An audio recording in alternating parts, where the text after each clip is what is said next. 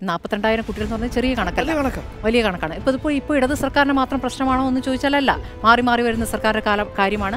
ഇതിപ്പോൾ താൽ ഇത് ഇത് ഈ മൂന്നാം ഘട്ട അലോട്ട്മെന്റും കഴിഞ്ഞിട്ട് തൽക്കാലം കുറച്ച് സീറ്റ് കൊടുത്ത് പരിഹരിക്കും. ഇത് എല്ലാ കാലത്തും നടന്നു വരുന്ന കാര്യമാണ്. തെക്കൻ കേരളത്തിൽ ഒന്ന് പഠിച്ചുകൂടി ഇവിടെ സീറ്റ് ഒഴിവുണ്ടല്ലോ എന്നുള്ളൊരു യുക്തിക്ക് പ്രസക്തിയില്ല. എയ്റ്റീസിൽ പത്താം ക്ലാസ് പൂർത്തിയാക്കി. അവസാനം എന്നൊക്കെ പറ അത്രയെങ്കിലുമൊക്കെ പറ. 90 90 ഞാൻ ഇത് എന്റെ എന്റെ പോട്ടെ നമ്മൾ ഫ്ലോ പോയി ഫ്ലോ പോയി.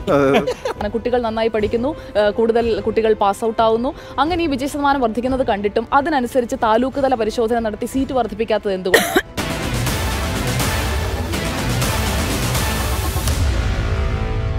Meet the editors.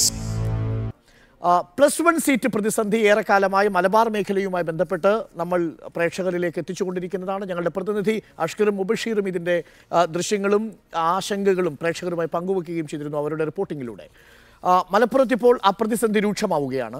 അധിക ബാച്ചുകൾ അനുവദിക്കുമെന്ന സർക്കാർ വാഗ്ദാനം മതിയായ ഫലം ചെയ്തില്ല എന്നാണ് ഇപ്പോൾ നമ്മൾ മനസ്സിലാക്കുന്നത്. ആയിരക്കണക്കിന് വിദ്യാർത്ഥികൾ പ്ലസ് വൺ സീറ്റുകൾക്ക് പുറത്തു നിൽക്കുകയാണ്. മാർജിനൽ വർധനവ് ബാച്ച് മാറ്റം താൽക്കാലിക ബാച്ച് എന്നിങ്ങനെ പതിവ് രീതികൾ തന്നെ തുടരുന്നതിനാൽ മലപ്പുറത്തെ പ്ലസ് വൺ സീറ്റ് ക്ഷാമം ഉടൻ തീരില്ലെന്ന് വ്യക്തം.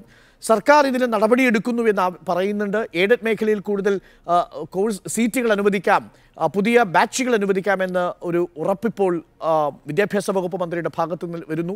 പ്ലസ് വൺ സീറ്റ് പ്രതിസന്ധിയിൽ സർക്കാരിനെ ഇന്ന് രൂക്ഷമായി വിമർശിച്ചും സ്പീക്കറോട് കയർത്തും മുൻ സുപ്രീം കോടതി ജഡ്ജി ജസ്റ്റിസ് മാർക്കണ്ഡേയ കഴിച്ചു മലപ്പുറം നിയോജക മണ്ഡലം വിജയത്തിളക്കം വേദിയിൽ വെച്ച് സ്പീക്കറെ സാക്ഷിയാക്കിക്കൊണ്ടായിരുന്നു വിമർശനം. പ്രതിസന്ധി പരിഹരിക്കാൻ കഴിയാത്തവർ രാജിവെച്ച് വീട്ടിൽ പോകണമെന്നും കുട്ടികളുടെ ജീവിതം വെച്ചാണ് കളിക്കുന്നതെന്നും കഡ്ജു വിമർശിച്ചു.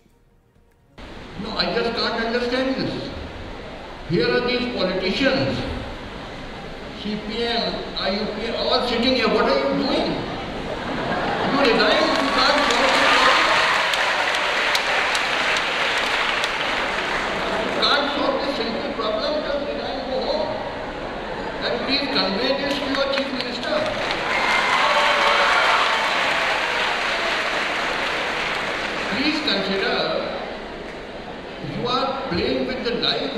Children. Children who should become engineers, who become doctors, scientists. Markandeya കജ്ജുവിന്റെ വിമർശനത്തിൽ കഴമ്പുണ്ടോ?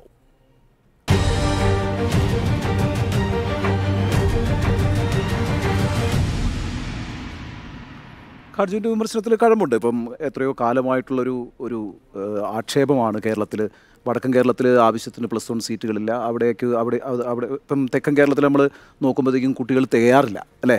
പലപ്പോഴും സീറ്റ് മിച്ചം വരുന്നൊരു സാഹചര്യമാണ്. എന്നാൽ തൃശ്ശൂർ മുതൽ കാസർഗോഡ് വരെ എടുക്കുമ്പോൾ അവിടെ ആവശ്യത്തിന് പ്ലസ് വൺ സീറ്റുകളില്ല. ഇപ്പോൾ എനിക്ക് തോന്നുന്നു രണ്ട് രണ്ടേകാൽ ലക്ഷം വിദ്യാർത്ഥികൾ എല്ലാ വർഷവും പ്ലസ് വൺ ഈ പിന്നെ എ പ്ലസ് പ്ലസോടുകൂടി പാസ്സായിട്ട് വരിക. ഏതാണ്ട് ഒരു അമ്പതിനായിരം വിദ്യാർത്ഥികൾക്ക് അവിടെ അഡ്മിഷൻ കിട്ടാത്ത അല്ലെങ്കിൽ അവരുടെ ഓപ്ഷണൽ സബ്ജക്റ്റിൽ അഡ്മിഷൻ കിട്ടാത്ത സാഹചര്യം ഉണ്ടാകും പലപ്പോഴും ഇപ്പോൾ സയൻസ് പഠിക്കണമെന്ന് ആഗ്രഹിക്കുമ്പം അത് കിട്ടാതെ വരിക. അപ്പം ഡിസ്റ്റന്റ് എഡ്യൂക്കേഷനൊക്കെ നമ്മൾ സാധാരണ ഇതിൽ പ്ലസ് വൺ പ്ലസ് ടുവിനൊന്നും പോകാറില്ല. അതിന് നല്ല സാമ്പത്തിക ചിലവുള്ള കാര്യവുമാണ്. അപ്പോൾ അതുകൊണ്ട് എന്നാൽ പിന്നെ തെക്കൻ കേരളത്തിൽ ഒന്ന് പഠിച്ചുകൂടി ഇവിടെ സീറ്റ് ഒഴിവുണ്ടല്ലോ എന്നുള്ളൊരു യുക്തിക്ക് പ്രസക്തിയില്ല. അവിടെ തന്നെ അതിനുള്ള സൗകര്യം ഉണ്ടാവുക എന്നുള്ളതാണ്. അതിന്റെ ഒരു കുഴപ്പം എന്താണെന്ന് വെച്ചാൽ നമുക്ക് അത്തരം സംവിധാനങ്ങൾ ഇല്ലാതാകുമ്പോൾ ഇപ്പോൾ ആരൽ കോളേജിലൊക്കെ വളരെ കുറച്ച് അഡ്മിഷനൊക്കെ കിട്ടി പഠി പഠനം തുടർന്നു എന്ന് വരാം. പക്ഷേ ഭൂരിഭാഗം ആളുകളും പഠനം തുടരാൻ കഴിയാത്തൊരു ഒരു സാഹചര്യത്തിലേക്ക് ഉപരിപഠനം തന്നെ നിലയ്ക്കുന്നൊരു ഒരു സാഹചര്യം വരുന്നു എന്ന് പറയുന്നത് വളരെ പ്രധാനപ്പെട്ട കാര്യമാണ്. പക്ഷേ അത് പിന്നെ അക്കാര്യത്തിൽ ഇപ്പോൾ മലപ്പുറത്ത് ഈ ഒരു ഒരു രാഷ്ട്രീയ പാർട്ടിക്ക് മാത്രമല്ല ഒരു മുന്നണിക്ക് മാത്രമല്ല അത് ഉത്തരവാദിത്വം ഇപ്പം പാർട്ടിക്കും ഉത്തരവാദിത്വം ഉണ്ട്. ഇപ്പം മുസ്ലിം ലീഗ് വിദ്യാഭ്യാസ വകുപ്പ് കൈകാര്യം ചെയ്യുന്ന ഒരു പാർട്ടിയാണ്. അപ്പം മുന്നണി ഭേദമന്യേ മുന്നണി ഭേദമന്യേ എല്ലാവർക്കും അതിനകത്തൊരു ഉത്തരവാദിത്വമുണ്ട്. പക്ഷേ ഈ പ്രശ്നം പരിഹരിക്കപ്പെടേണ്ട പ്രശ്നമാണ് എന്ന കാര്യത്തിൽ തർക്കമില്ല. എനിക്ക് തോന്നുന്നത് സംസ്ഥാന സർക്കാർ ഒരു കമ്മീഷനെ ഇക്കാര്യത്തിൽ നിയോഗിച്ചിരുന്നു. കാർത്തികൻ കമ്മീഷൻ ആണ് ഇക്കാര്യം പഠിക്കുകയൊക്കെ ചെയ്തിട്ടുള്ളത്. പക്ഷേ ആ, ആ കമ്മീഷന്റെ പിന്നെ കണ്ടെത്തലുകളോ അവരുടെ നിർദ്ദേശങ്ങളും ഇതുവരെ പുറത്തു വന്നിട്ടില്ല. അതൊന്നും നടപ്പാക്കിയിട്ടുമില്ല. അപ്പോൾ ആ അതെന്താണെന്ന് അറിയാനും നമുക്ക് ഒരു ഒരു പിന്നെ എന്താ പറയുക നമുക്ക് അതിനൊരു അവകാശമുണ്ട്. അപ്പോൾ ആ കാർത്തികേയൻ കമ്മീഷന്റെ റിപ്പോർട്ട് നടപ്പാക്കണം. എനിക്ക് തോന്നുന്നു രണ്ടായിരത്തി പിന്നെ ഈ പതിനാറിൽ തന്നെ ഗവൺമെന്റ് ഇതൊരു ഈ ഇടതുപക്ഷ ഗവൺമെന്റ് ഈ കാര്യത്തിൽ ഒരു ഉറപ്പും കൊടുത്തിരുന്നതാണ്. അവരുടെ പ്രകടന പത്രികയിൽ ഉണ്ടായിരുന്നതാണ് ഈ ഡിസ്പാരിറ്റി പരിഹരിക്കും എന്നുള്ളത്. അത് പരിഹരിക്കാതിരിക്കുന്നു എന്നുള്ളത് ഒരു പ്രധാനപ്പെട്ട പ്രശ്നം തന്നെയാണ്. ഒരു കാര്യം കൂടി പറഞ്ഞോട്ടെ. ഇതിനെ പക്ഷേ സാമുദായികമായി ഉപയോഗിക്കാനുള്ള ചില ശ്രമങ്ങളൊക്കെ നടക്കുന്നുണ്ട് കേട്ടോ. ഇപ്പം വെൽഫെയർ പാർട്ടിയും ജമാഅത്തും ഒക്കെ ഇതിനെതിരായിട്ടുള്ള ചില പ്രതിഷേധങ്ങളൊക്കെ സംഘടിപ്പിച്ച് ഒരു വികാരം വികാരമുണർത്താനുള്ള ശ്രമമുണ്ട്. അതല്ല അതിന് പരിഹാരം. അതിന് ഇത്തരത്തിൽ ഈ ഡെസ്പാരിറ്റി പരിഹരിക്കുന്നതിന് സർക്കാരിന്റെ ഒരു ഇനിഷ്യേറ്റീവ് തന്നെ ഈ കാര്യത്തിൽ ഉണ്ടാകണമെന്ന കാര്യത്തിൽ ഒരു തർക്കവുമില്ല. അതുകൊണ്ട് മാർക്കൻഡ്രയെ കാർജു പറഞ്ഞ കാര്യം ശരി തന്നെയാണ്. ഈ മാർക്കണ്ടേയ കഡ്ജു സുപ്രീം കോടതി ജഡ്ജി ആയി വിരമിച്ച ശേഷം പല പ്രതികരണങ്ങൾ നടത്തി വിവാദ പ്രസ്താവനകൾ ചിലത് വളരെ രസമുള്ള കാര്യങ്ങളൊക്കെയാണ്. പക്ഷേ ഈ വിഷയം ഗൗരവത്തിലുള്ള വിഷയം തന്നെയാണ്. അത് അദ്ദേഹം നടത്തുന്ന കുട്ടികൾക്ക് സമ്മാനം കൊടുക്കുന്ന ഒരു ചടങ്ങിൽ അതുകൊണ്ട് വിദ്യാർത്ഥികളുടെ കയ്യടി കണ്ടല്ലോ. അപ്പോൾ അവിടുത്തെ ഒരു ഇത് ഇത് തെക്ക് വടക്ക് എന്നുള്ള വേർതിരിവ് പാടില്ല എന്ന് പറയുമ്പോഴും ഈ വേർതിരിവ് കൃത്യമായി ഈ വിഷയത്തിൽ നടക്കുന്നുള്ള ഒരു യാഥാർത്ഥ്യമാണ്. മലബാറിലാണ് ഏറ്റവും അധികം എ പ്ലസ് നേടിയ കുട്ടികളുള്ളത്. ഒന്ന് ആലോചിച്ച് നോക്കൂ. ഈ മലബാറിൽ രണ്ട് ലക്ഷത്തി ഇരുപത്തി അയ്യായിരത്തി എഴുന്നൂറ്റി രണ്ട് കുട്ടികളാണ് ഇത്തവണ യോഗ്യത നേടിയത്. പക്ഷേ അതിൽ രണ്ട് ലക്ഷത്തി ആയിരത്തി എണ്ണൂറ്റി എൺപത്തഞ്ച് സീറ്റ് മാത്രമാണുള്ളത്. നാൽപ്പത്തി അയ്യായിരം കുട്ടികൾ ഇപ്പോഴും മൂന്നാം ഘട്ട അലോട്ട്മെന്റ് കഴിഞ്ഞിട്ടും പുറത്ത് നിൽക്കുകയാണ്. ഈ മാസം അഞ്ചാം തീയതി പ്ലസ് വൺ ക്ലാസ് തുടങ്ങിയിട്ടുണ്ട്. അപ്പോൾ നല്ല റാങ്കൊക്കെ മേടിച്ച് ജയിച്ച നല്ല മാർക്ക് മേടി എ പ്ലസ് നേടി ജയിച്ച കുട്ടികൾ ഇപ്പോഴും പുറത്ത് നിൽക്കുകയാണ്. എത്ര നാൽപ്പത്തിരണ്ടായിരം കുട്ടികൾ എന്ന് പറഞ്ഞാൽ ചെറിയ കണക്കല്ല. വലിയ കണക്കാണ്. ഇപ്പോൾ ഇതിപ്പോൾ ഇപ്പോൾ ഇടത് സർക്കാരിന് മാത്രം പ്രശ്നമാണോ എന്ന് ചോദിച്ചാലല്ല. മാറി മാറി വരുന്ന സർക്കാരിന്റെ കാലം കാര്യമാണ്. ഇതിപ്പോൾ താൽ ഇത് ഇത് ഈ മൂന്നാം ഘട്ട അലോട്ട്മെന്റും കഴിഞ്ഞിട്ട് തൽക്കാലം കുറച്ച് സീറ്റ് കൊടുത്ത് പരിഹരിക്കും. ഇത് എല്ലാ കാലത്തും നടന്നു വരുന്ന കാര്യമാണ്. ഇപ്പോഴാണ് ഇത്രയധികം വലിയ ഈ വലിയ കണക്കിലേക്ക് വന്ന് ഇപ്പോഴാണ്. ഇപ്പോൾ മുസ്ലിം ലീഗ് ഈ വിഷയത്തിൽ ശക്തമായി പ്രതികരിക്കുന്നു. നേരത്തെ പറഞ്ഞ പോലെ മുസ്ലിം ലീഗിനും വിദ്യാഭ്യാസം ആണ്. പക്ഷേ ഇപ്പോൾ ഈ വിഷയത്തിൽ രണ്ടാം ഘട്ട സമരത്തിലേക്ക് യൂത്ത് ലീഗ് കടക്കുന്നു ആ, പല രീതിയിൽ മലബാറിലാകെ സമരം നടക്കുന്നു. പക്ഷേ. എം എസ് എഫ് സമരത്തിലാണ്. പക്ഷേ ഈ വിഷയം ഒന്ന് ആലോചിച്ച് നോക്കൂ. മുഖ്യധാര മാധ്യമങ്ങളൊന്നും തന്നെ വലിയ രീതിയിൽ ഈ വിഷയം ചർച്ച ചെയ്തിട്ടില്ല. മലബാറിന്റെ മാത്രം വിഷയമായി മാറുന്ന ഒരു സാഹചര്യമുണ്ട്. മന്ത്രിയുടെ പ്രതികരണവും നല്ല രീതിയിലായിരുന്നില്ല. അതെ റൈറ്റ് അല്ല ഞാൻ ആലോചിക്കുകയായിരുന്നു. മുസ്ലിം ലീഗിന്റെയോ അല്ലെങ്കിൽ സി പി എമ്മിന്റെയോ മാത്രം ഇഷ്യൂ അല്ല ഇത്. ഇതൊരു കേരളത്തിന്റെ ഒരു പൊതു അവബോധത്തിന്റെ പ്രശ്നം കൂടിയാണ്. മലപ്പുറത്ത് കുറച്ച് സ്കൂളുകൾ കൊടുത്താൽ കുറച്ച് പ്ലസ് ടു സീറ്റുകൾ കൊടുത്താൽ അതിനെ വളരെ വർഗീയമായി ചിത്രീകരിക്കുകയും ആ നിലയിൽ പ്രചരണം നടക്കുകയും ചെയ്തിട്ടുള്ളൊരു നാടാണിത്. അവിടെയാണ് ഏതാണ്ട് എത്രയാ? മുപ്പത്തി ഓരായിരം പേര് അലോ അഡീഷണൽ അലോട്ട്മെന്റിന് വേണ്ടി കാത്തിരിക്കുന്നത്. വേറൊരു ജില്ലയിലും ആ നിലയിലുള്ള ഒരു കൺസേൺ ഇല്ല എന്ന് വരുമ്പോൾ യഥാർത്ഥത്തിൽ നമ്മൾ കേട്ട കഥകൾ എന്താണ്? നമ്മൾ കണ്ട വർഗീയ പ്രചരണങ്ങൾ എന്തൊക്കെയാണ്?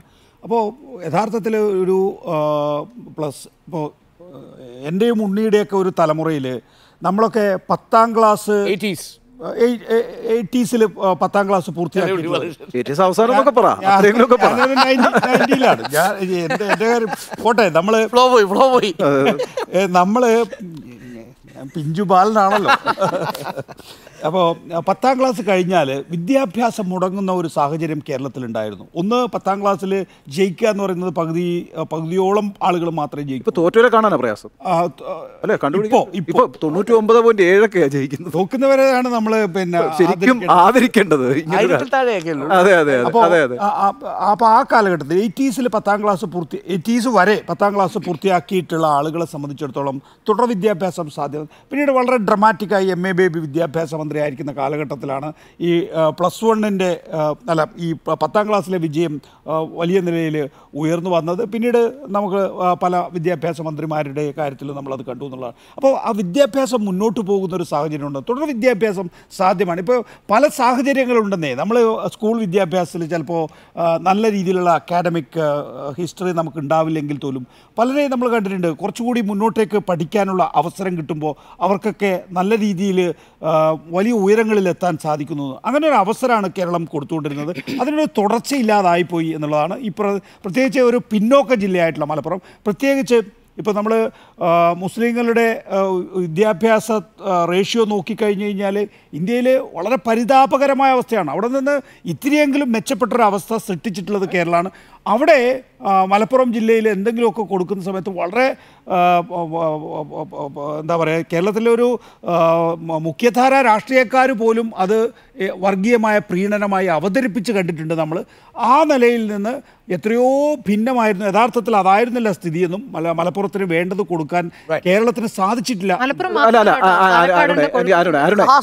അതാണ് അതാണ് അല്ല അരുണ ഒരു മിനിറ്റ്. അത് അത് വല്ലാണ്ട് തെറ്റിദ്ധരിക്കപ്പെടുമെന്നൊരു സംശയമുണ്ട് മലപ്പുറത്ത് ഒരു ജനസംഖ്യ പ്രശ്നമുണ്ട്. അതുകൊണ്ട് സ്വാഭാവികമായിട്ടും അവിടെ ഒരു പിന്നെ ഷോർട്ടേജ് ഓഫ് സീറ്റ് ഉണ്ട്. മലപ്പുറത്ത് മാത്രമല്ലല്ലോ ഈ പ്രതിസന്ധി ഇപ്പോൾ ഒരു ചെറിയ കണക്ക് മാത്രം ഞാനങ്ങ് പറഞ്ഞേക്കാം. ഇപ്പം കോഴിക്കോട് മുപ്പതിനായിരത്തി എഴുന്നൂറ്റി അഞ്ച് പ്ലസ് വൺ സീറ്റുകളിലേക്ക് നാൽപ്പത്തി ഏഴായിരത്തി നൂറ്റി എൺപത്തിരണ്ട് കുട്ടികളാണ് അപേക്ഷിച്ചിരിക്കുന്നത്.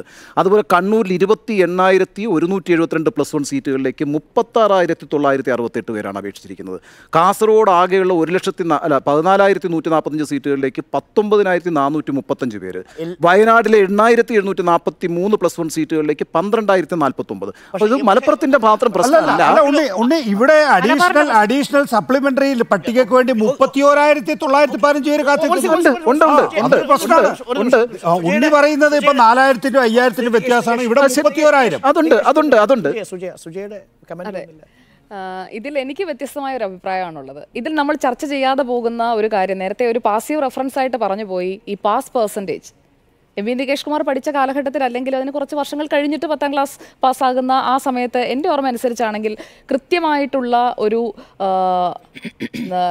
മൂല്യനിർണയ സംവിധാനം ഉണ്ടായിരുന്നു. ഇപ്പോഴത്തെ മൂല്യനിർണയ സംവിധാനത്തിന്റെതാണോ അതോ കുട്ടികളെല്ലാവരും അത്രയും കൃത്യമായി ഈ പെർസെന്റേജ് വരെ കൃത്യമായി പഠിച്ചെത്തുന്നതിന്റെതാണോ?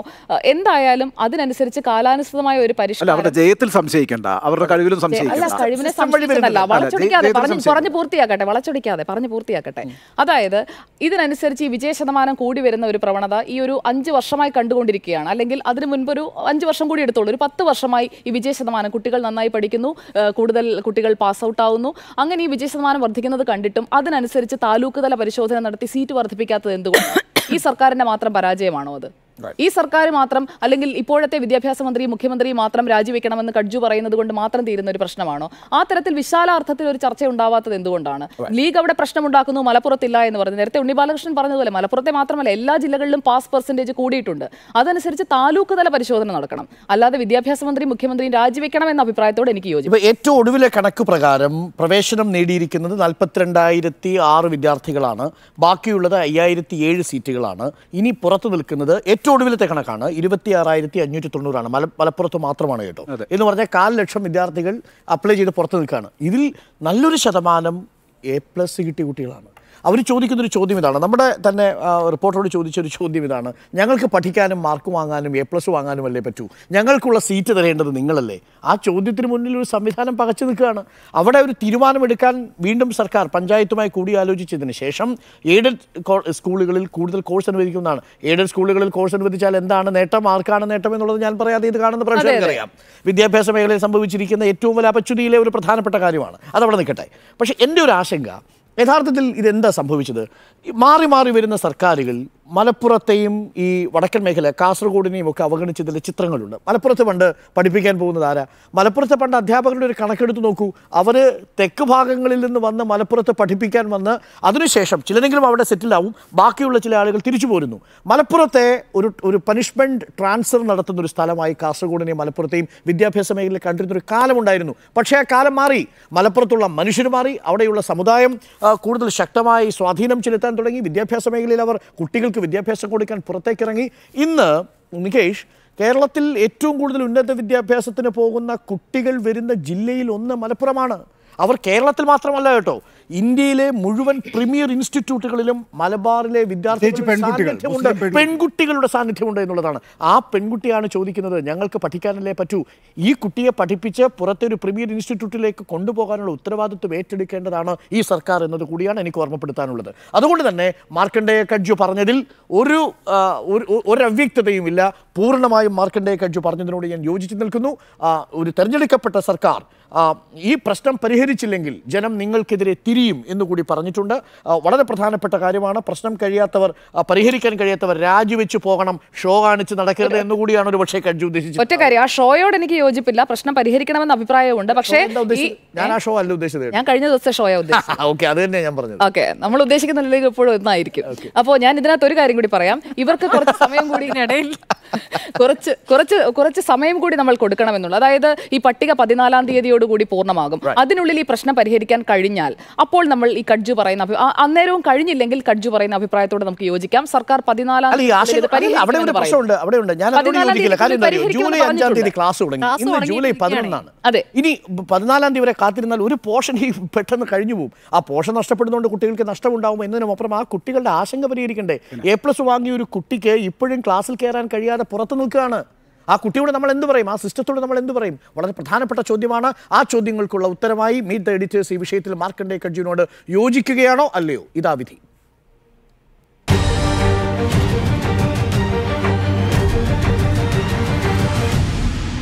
ഉണ്ട് എന്ന് തന്നെയാണ് മീറ്റ് ദ എഡിറ്റേഴ്സിന്റെ അഭിപ്രായം.